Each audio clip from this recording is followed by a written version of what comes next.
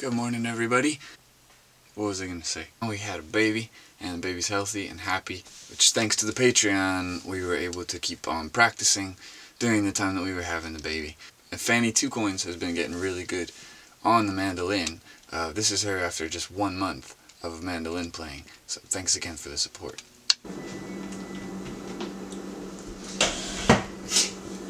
Hello. Hi, everyone. Welcome to Tappy and Fanny.